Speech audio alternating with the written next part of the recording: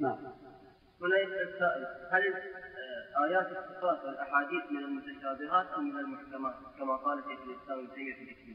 هي من جهة من المتشابهات وذلك فيما يتعلق بالكيفيات وليست من المتشابهات من حيث أن لها معنى ظاهرا كما قلنا آنفا في قول السلف أمروها كما جاءت يعني بالمفهوم العربي والمثال عن ذلك سابقا ذكرناه أيضا.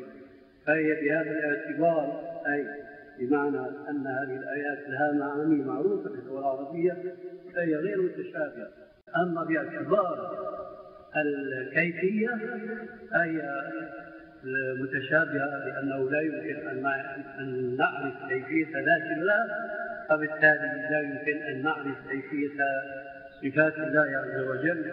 ولذلك قال بعض أئمة الحديث وهو أبو بكر الخطيب صاحب التاريخ معروف بتاريخ بغداد يقال في الصفات ما يقال في الذات سلبا وإيجابا.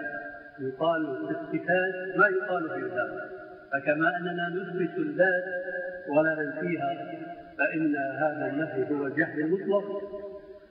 كذلك نقول في الصفات نثبتها ولا ننفيها ولكننا كما لا نكيف الذات لا نكيف الصفات. هذا جواب هذا السؤال